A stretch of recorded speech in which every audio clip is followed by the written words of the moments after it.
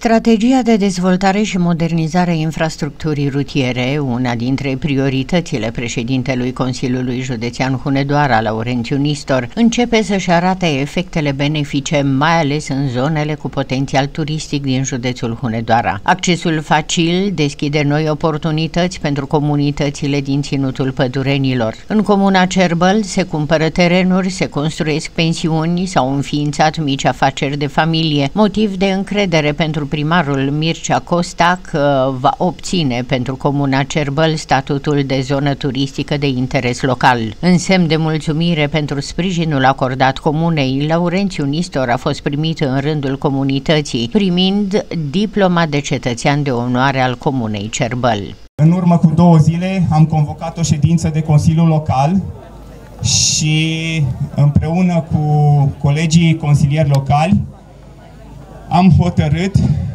că domnul președinte Laurențiu Nistor este cel care ne-a ajutat enorm de mult la dezvoltarea uh, din punct de vedere a infrastructurii, uh, din punct de vedere sociocultural a comunei noastre, din punct de vedere economic. Uh, deci, domnul președinte a fost cel care ne-a ajutat să ne dezvoltăm această comună. Și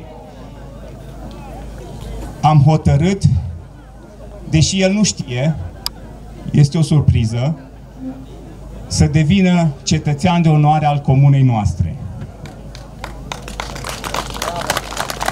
Acesta este titlul de cetățean de onoare. Sper din suflet să-l primiți, domnul președinte, pentru că pe mine mă onorează enorm de mult acest lucru.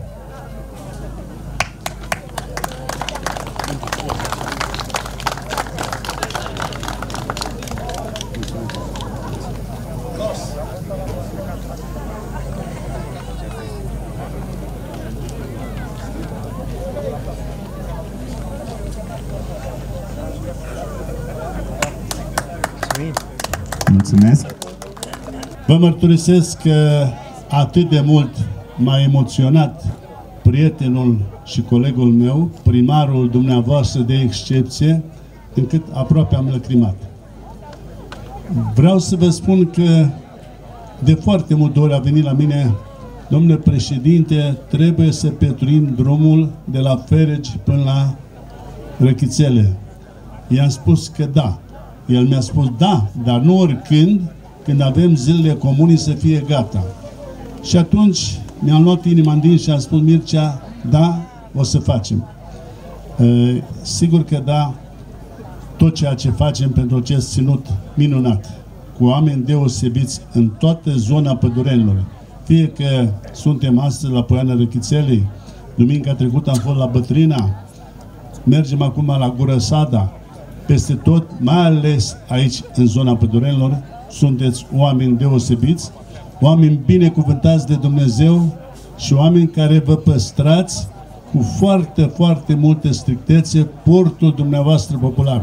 Evenimentul a avut loc în acest weekend la Festivalul Plăcintelor Pădurenești de la Poiana Rechițelii, unde s-au strâns mii de oameni dorniși să se bucure de produsele tradiționale, dar și de concursuri și spectacole.